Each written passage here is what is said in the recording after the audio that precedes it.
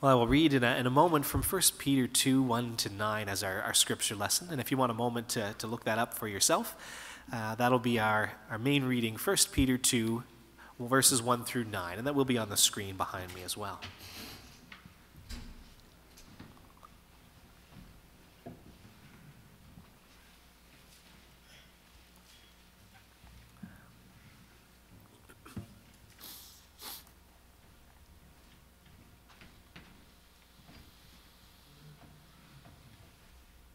Let's receive this reading from God's Word.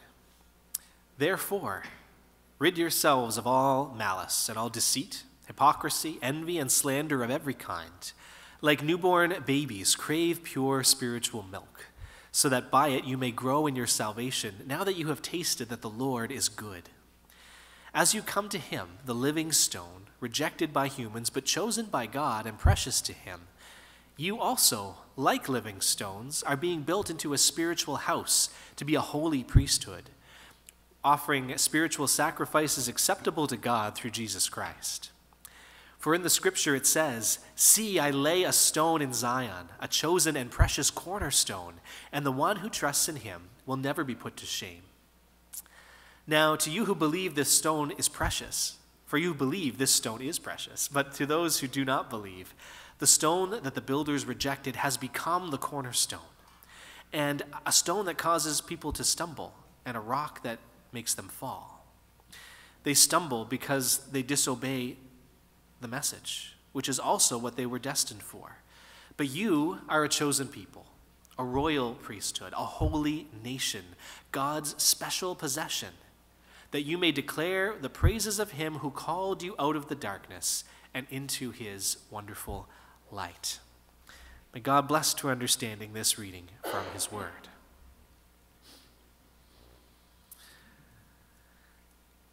All right, so you have to pay attention off the get go to get this first part, okay? So a priest and a rabbit and a Baptist minister walk into a bar. All right?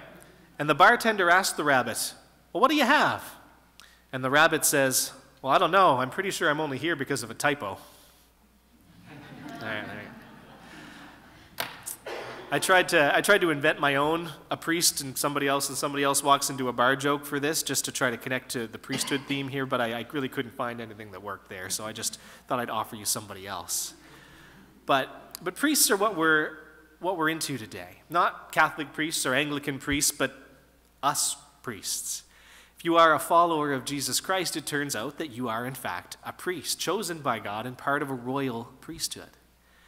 So, if you ever want to have some fun when you're filling out uh, some government paperwork and you're asked what your occupation is and you feel like yours is too boring, you can just write royal priest in there and kind of see what happens with that after you put that in the box. So, these last few weeks, I have been uh, exploring some core beliefs for Christians and those that are a particular distinctiveness for Baptists in this series that's called Explain Yourself. And the idea is to understand what we're supposed to be about as followers of Jesus and how to live that out in a way that sets us apart. And so far, we've looked at the lordship of Jesus, what it means to put him first and make sure he has the last word in our lives and in the life of our church. We explored the Bible as our primary authority and the, the place we go to first and foremost for how we believe and act, and some reasons that it would be trustworthy to do that. And last week, I preached on this topic of soul liberty, which actually has a fair bit of overlap with what we're talking about today and the priesthood of all believers. And that overlap comes from the Bible's teaching that all followers of Jesus possess the Holy Spirit. And so through that Spirit, we have direct access to God. So they don't need a priest or a temple or a pastor or a church to act as a mediator for them. You don't have to go through somebody else or something else to get to God. You can listen and you can discern God's guidance. You can read the Bible and find in there the truth that you need. You can, you know, you can have that on your own without somebody else having to tell you, well, this is what God says, or this is what you have to do. So there is a beautiful freedom in that. But it doesn't make Christians lone rangers either. We're part of something bigger than ourselves, and the language of priesthood can actually help us understand and find our place in that. So I want to dig in right off to our passage from the book of 1 Peter, which talks about this royal priesthood thing twice in just nine verses. And chapter 2 starts with a big therefore. And the biblical interpretation cliche says that if you see a therefore, it's a good idea to ask what it's there for. And in this case, it's therefore because at the end of chapter 1, there was this instruction to readers to be holy. That, to say that we should live in this godly way, particularly in having a sincere love for one another. And so when chapter 2 starts, uh, it gives us some things that we would need to get rid of to accomplish that, things that we should purge from our attitudes and from our speech. Right? So, therefore, we want to rid ourselves of malice, this ill will towards one another, deceit, right? deliberate dishonesty, hypocrisy, which is pretending to have love or faithfulness that you do not, in fact, possess, uh, to get rid of envy, to get rid of slander, backbiting lies toward each other. So, disciples of Jesus are to rid ourselves of these things, these negative things that destroy community, and instead desire pure spiritual milk in order to grow into our salvation. And this is not just an instruction for new Christians or immature believers, it is for everyone. Because the, the scriptures, God's word, is what's being told as the, is the pure spiritual milk here. God's word does not deceive. Instead, it sustains and it nourishes people spiritually. So we have one more reminder there of the importance of having some quality Bible input into our lives in whatever form we find for that. And then we get to talking about stones, but not regular old dead stones. First Peter really likes to emphasize the living nature of faith. It uses the term living hope. It calls the scripture God's living word, and here it refers to Jesus as a living stone living because of the resurrection. Jesus is alive, rejected by humans, but chosen by God. So, as you come to him, the living stone, rejected by humans, but chosen by God and precious to him. And then it goes on and says that, that we are also like living stones in verse 5. So, Jesus is the living stone, but we are like him because we share in the eternal life, the resurrection life that Jesus offered. And that new life begins when we have faith, when we choose to follow him. And then it awaits for this future glory that we see in Jesus' resurrection as proof to us.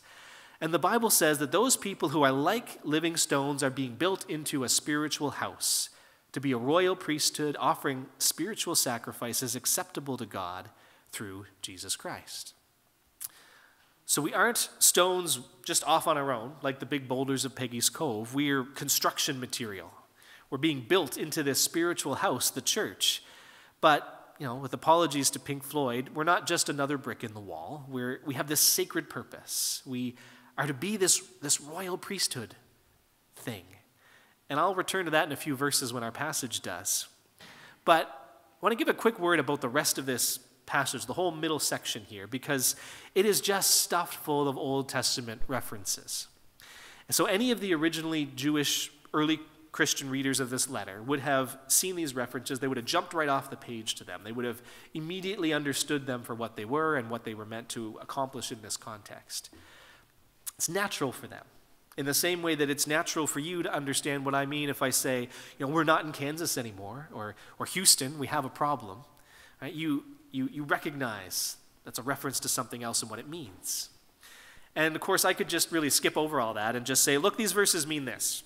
And that might help prevent anyone's eyes from glazing over, which I guess could be handy. But sometimes I do want to model just how studying the Bible is important, how we do that, and also how the Bible is this unified story that points to Jesus all the way through.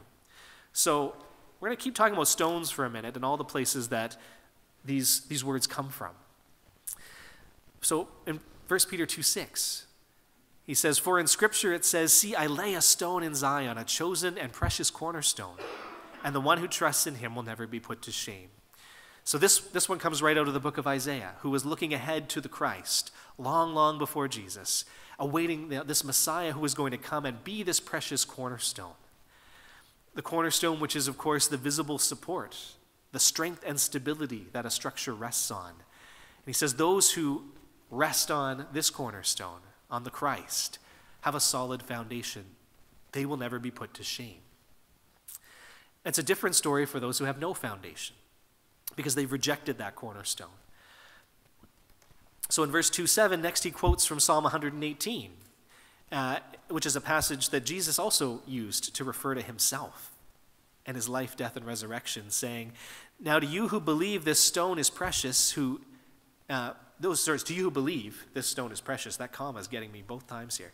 To those who you believe, uh, now to you who believe, this stone is precious. But to those who do not believe, the stone the builders rejected has become the cornerstone. Psalm 118. And then he ties it right into the book of Isaiah again when we get to the next verse. And a stone that causes people to stumble, and a rock that makes them fall. So, people, particularly the Jewish religious leaders, the Jewish authorities, those who had power in the religious system of that time, in Jesus' day, they rejected Jesus. Not because he failed to make a major impression, uh, but because he did not seem to be the sort of Messiah that they were looking for or the kind that they wanted. Verse 8 says that they stumble because they disobey the message. See, they knew their scriptures very, very well, better than any of us, but they couldn't see that those scriptures pointed to Jesus. Or perhaps they could see, but they would not accept it because it did not fit their agenda or their ambitions. And so for them, Jesus was a stone that causes people to stumble. He was a stumbling block. And this is what happens. This is what happens to anybody. If you think that you can follow Jesus, but then not have him challenge your thinking or your comfort. Because if Jesus is Lord of your life, then he gets to call the shots. And that's enough to cause plenty of people to reject him. We want to reserve that final right to do as we please for ourselves.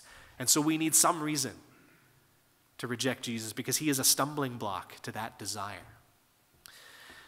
The religious leaders of Jesus' day rejected this stone that made them stumble. They arranged for his death and resurrection, but he became the cornerstone. The cornerstone of the church, the cornerstone of the lives of all those disciples who recognize Jesus for who he is and are willing to put him first. then, as we get to verses 9 and 10, we continue to read that you are a chosen people, you're a royal priesthood, God's special possession or honored possession that you may declare the praises of him who called you out of darkness and into his wonderful light. Once you were not a people, but now you are the people of God. Once you had not received mercy, but now you have received mercy.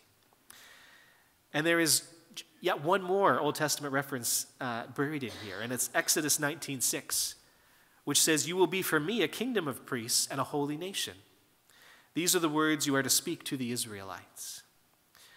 So, when we go back to ancient Israel, to the Exodus, God wanted Israel to be a spiritual influence among the nations. He wanted them to stay faithful to Him and receive His blessing, and the rest of the world would see how good it was going for Israel and how they were this good example to follow. Except they couldn't do it. Apart from brief periods of faithfulness, they always ended up imitating the nations around them instead and fell into idolatry. So, our passage here is not taking anything away from Israel's role and status, but it is taking this charge, it's taking this mission that was once given to Israel and it's applying it to the church. And saying God still wants a kingdom of priests, He still wants a holy nation, He still wants an example to the world, and we are it, the Jesus followers. So, will we declare the praises of Him who called us out of darkness and into His wonderful light? Or will we adopt the ways of darkness like Israel did? now that we have received mercy and had our sins forgiven, will we continue to be faithful as the people of God? Or will we go, go back to being what we were, as Israel so often did? There's a, there's a message and a challenge built into the use of that passage there.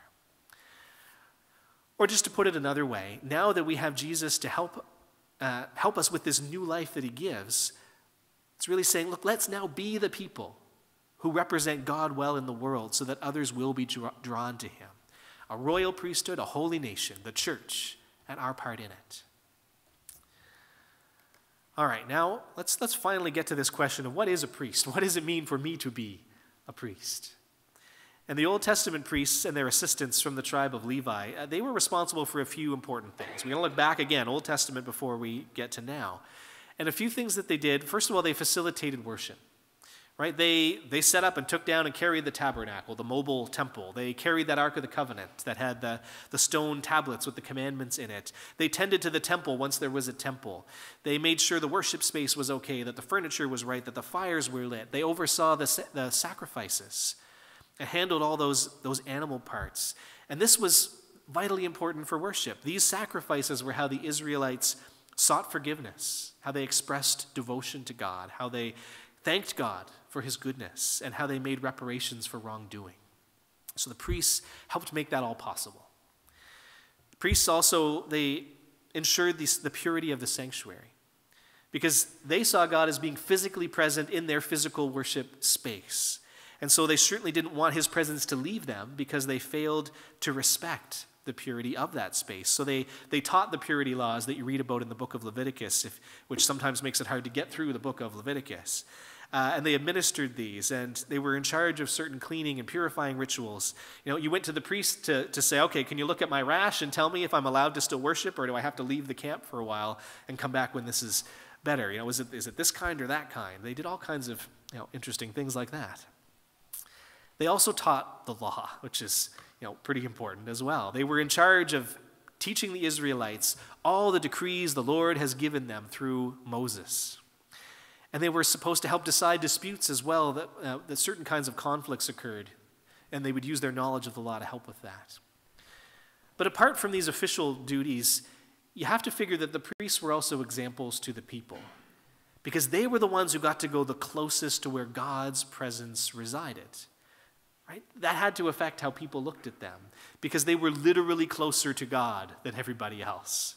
And they were more educated in the law, certainly. And so they had this role in their society, representing God to others and being, uh, you know, encouraging Israel to be faithful. And so if they, you know, if their standards were lowered, if they failed to be good servants, good, uh, you know, people who obeyed the law, good examples of who God is, then what hope was there for everybody else? So when you, if we look at these roles and responsibilities, it's not that hard to see how we might compare that to modern day priests or pastors or ministers. People like me organize worship services, teach the Bible, try to ensure that a church or organization conducts itself in a way that's consistent with the Bible. And of course, if we need to carry furniture around or do whatever else we got to do, then we do that too. But I would prefer that you really don't show me any of your rashes. We now have a better way to manage that one, okay? But today's passage says that it's, it's not specifically gifted and trained ministers who are the priests anymore. It's everyone who has the Holy Spirit. All followers of Jesus together are made into a royal priesthood. That's important too. You're not like a priest all on your own. We are together a royal priesthood. And a holy nation, commissioned to praise God and proclaim his mercies. And so, this is why it is this distinctive Baptist belief called the priesthood of all believers, or the priesthood of the believer, depending on which version. And so, the Canadian Baptists of Atlantic Canada have a definition for that, even, and I'll put that up here, which says that all believers share as equals in the church and in turn have a priestly role toward each other. Every member is called to be a minister. Differences in education, wealth, gender, and so on do not disqualify a person from service or from serving God through ministry to others. So, the, the church that I was baptized in growing up had this list of staff on the front of their bulletin. And so you had the pastor, you had the associate pastor, the organist, the secretary, and so on. But after that, the bottom of that list, it always read ministers, all the congregation. That was their nod to the priesthood of the believer. Because there are no areas of service that only one specific person can do. Right? There's no altar that only I can approach. It doesn't have to be the pastor who leads communion or performs a baptism or leads a worship service. And some of you may not even realize the ways in which you are already performing priestly roles. Right? I don't know if you know that, but inside that piano right there is a humidifier. It has to be kept full of water uh, to keep the inside moist, or the, the wood starts to, you know, it gets it dries out, and all of a sudden that messes up the sound. You know, Terry does that. He maintains something that facilitates our worship here in the sanctuary. That is a priestly role. Running the church library as, for many years, as Janice did, to provide resources to help people learn the scriptures. It's priest.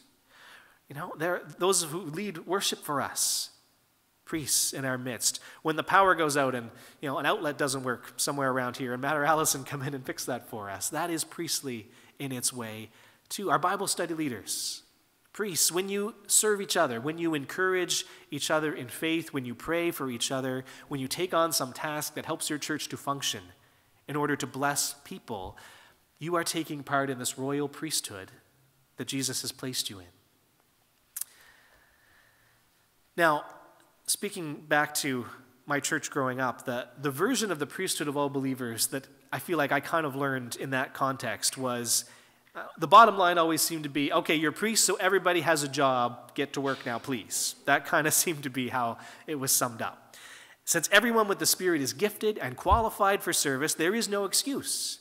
You can do something to serve your congregation, and if you're not, you should get on that. Okay, maybe that's not exactly how it was explained to me, but for whatever reason, that was kind of how I came away with the lesson at the time. That is not exactly how I would like you to come away with the lesson this time. Because I think it is more helpful to think about being part of this royal priesthood as having to do with our posture rather than our position.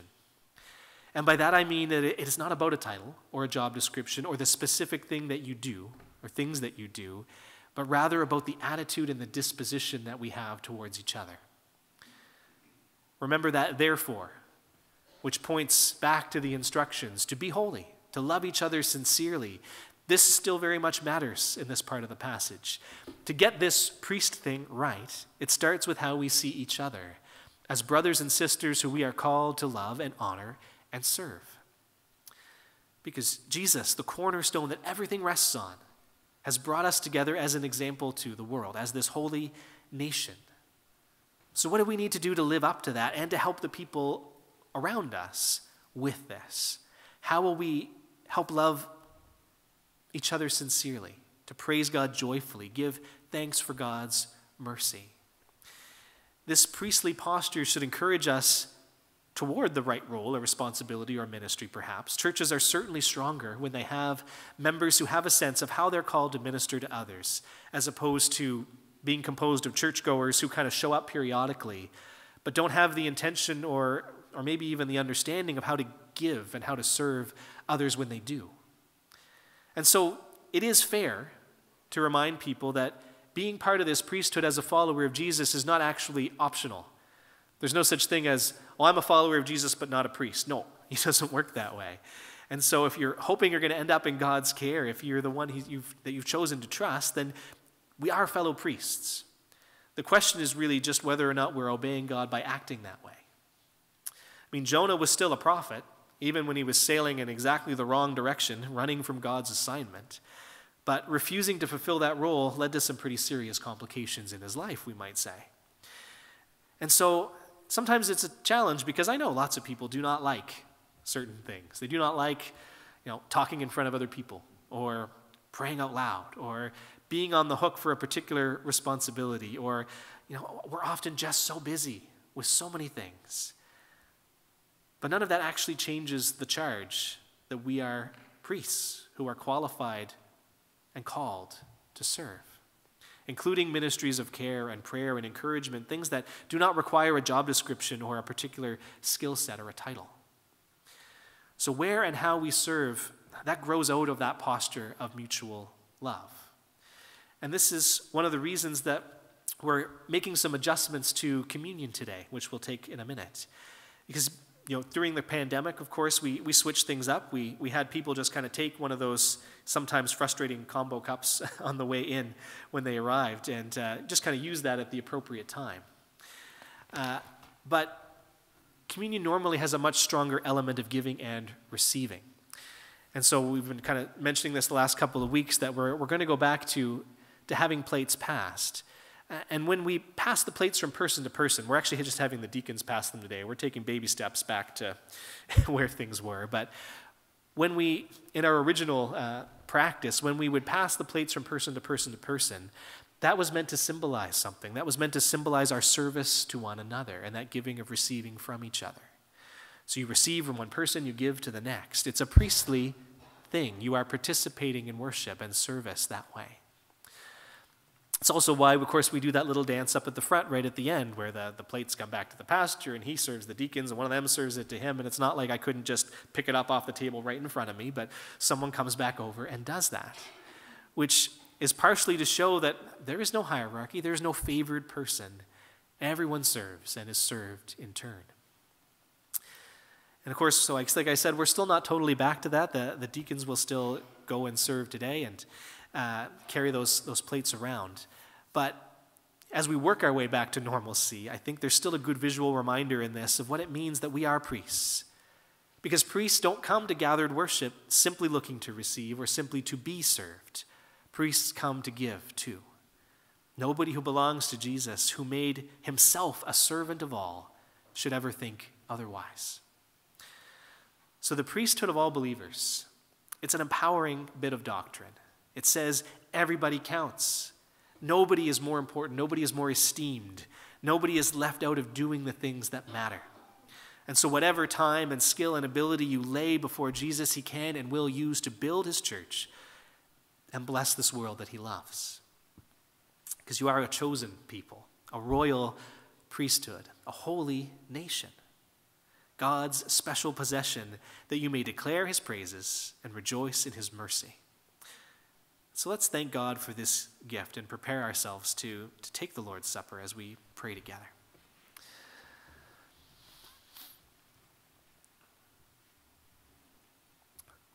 Lord God, it is an amazing thing to, to know that by belonging to you, by following your Son, Jesus Christ, that we are empowered with your Holy Spirit. Lord God, and from one day to another, we may not always feel it that that is true. But your word tells us that it is, that your spirit has become part of us. And we may not even see all the ways in which that affects us, that that helps us, that that blesses us and allows us to be the followers of Jesus Christ that we are. But God, when we trust you with that, help us to, to sense the truth of that reality and to be able to live that out.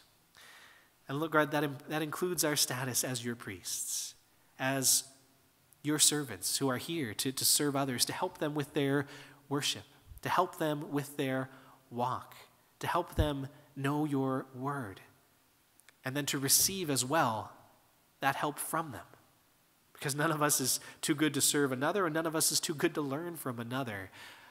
Lord God, help us to be humble as your son was humble. And so, as we prepare to come before your table, I just ask that you would help us to, to reflect well, help us to prepare our hearts, and help us to recognize that this is not something we come and do for ourselves, but this is something that we come and do as part of this body, as part of your church all across this world, but also as part of the church we choose to gather with. That we would come here with sincere love for each other, and that we would just turn our hearts over to you, remembering all that you've done for us, and leaving again ready to go out into this world as your royal priesthood and your holy nation, representing you well, being the example that other people need, and that might draw them to you. In Jesus' name, amen.